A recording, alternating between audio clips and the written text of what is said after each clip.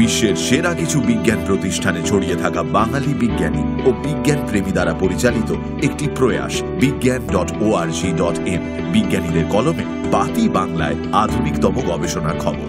বিজ্ঞান যারা ভালোবাসে বা ভয় পায় তাদের জন্য।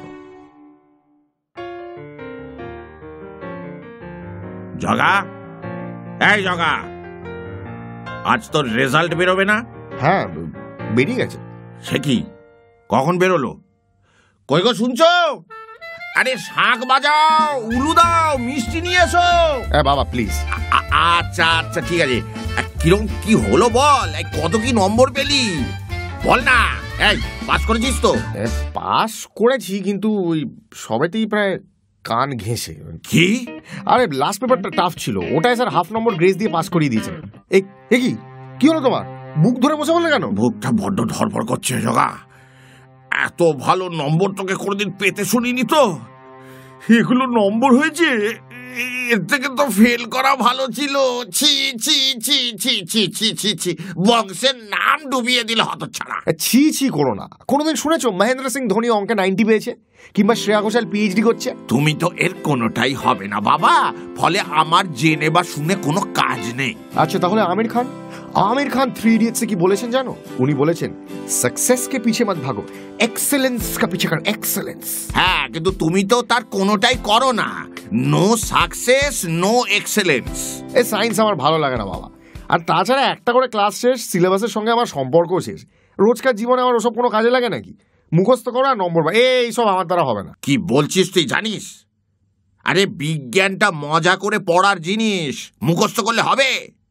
এই ধর তোর বইতে যে আইনস্টাইনের রিলেটিভিটির কথা পড়ছিস সেটা মুখস্থ করলে শুধু শক্ত শক্ত অঙ্কই পাবি।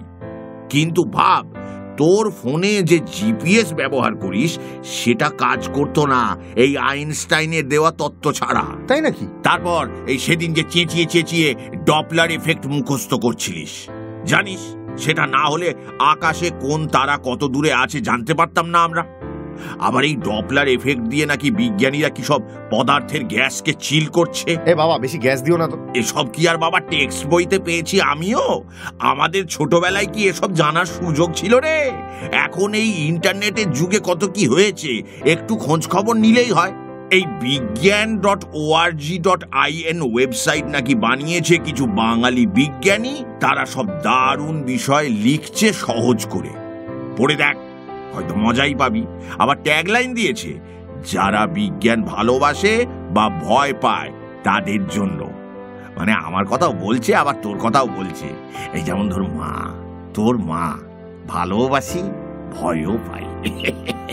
মানে এখানে বিজ্ঞান করলে সহজেই বুঝতে পারব বলছো? দেখ বাবা বিজ্ঞানকে ভয় না পেয়ে ভালোবেসে পড়তে হবে। আর সমাজে এগিয়ে যাওয়ার জন্য বিজ্ঞান মনস্কতা খুব জরুরি। খালি বিজ্ঞানীদেরই বিজ্ঞান পড়লে বা ভাবলে চলবে না। সবাইকে বিজ্ঞানের খবর জানতে হবে। যদি তোমার বিজ্ঞানের মজাদার গল্প নিয়ে সত্যি উৎসাহ থাকে, এক্সিলেন্সে পৌঁছতে ইচ্ছে করে, তাহলে এই নিচে লিংক দেওয়া আছে ক্লিক করে নাও। বলছো যখন, তাহলে তো একবার দেখতে এই বাবা, মা এসছে মা এসছে, বোধহয় মা এসছে। রেজাল্ট শুনলে আমায় তুলে ধরা করে ছাড়বে। বাবা বাঁচাও বাবা প্লিজ এখন তুমি ভরসা বাবা এই এই আরে, তুমি কোথায়? এই মায়ের ভয় আমায় অবস্থা রেখে পালিয়ে যাবে তাই তো, কিরম তুমি? বাবা!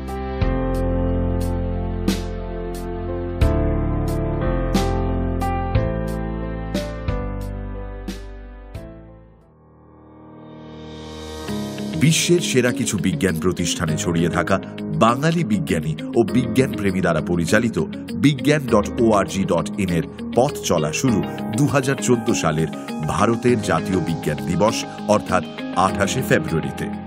সমাজের উন্নতিতে বিজ্ঞান মনস্কতার প্রয়োজন বিতর্কের অতীত। তার জন্য দরকার সেই সমাজের নিজের ভাষায় বিজ্ঞান আলোচনার পরিবেশ। সুবিধের খাতিরে গবেষণার কাজ ইংরেজি ভাষায় প্রকাশিত হয়, কারণ আন্তর্জাতিক স্তরে বিজ্ঞানীদের মধ্যে যোগাযোগ বজায় রাখতে এর বিকল্প এখনও নেই। কিন্তু সেই গবেষণার কথা আমরা কোনো স্কুলে পড়া ছাত্রছাত্রীকে তার মাতৃভাষায় বোঝাতে পারব না কেন? আধুনিক বিজ্ঞানের জয়যাত্রা আর সমস্যার কথা না জানলে ছাত্রছাত্রীদের কাছে বিজ্ঞান পাঠ্যপুস্তকের বোঝা হয়ে দাঁড়াবে। আর ছাত্রছাত্রীরা জ্ঞান বিজ্ঞানের আনন্দযজ্ঞের শরিক না হলে সেই সমাজ ভবিষ্যতে বিজ্ঞান মনস্ক সমাজ হিসেবে গড়ে উঠবে এমন আশা না করাটাই ভালো। এই উদ্দেশ্যে অনেক বিজ্ঞানী তাদের মাতৃভাষায় বিজ্ঞানের জনপ্রিয়করণের কাজ করে যান। বিজ্ঞান সেই প্রচেষ্টাকে আরও অনেক এগিয়ে নিয়ে যাওয়ার মাধ্যম।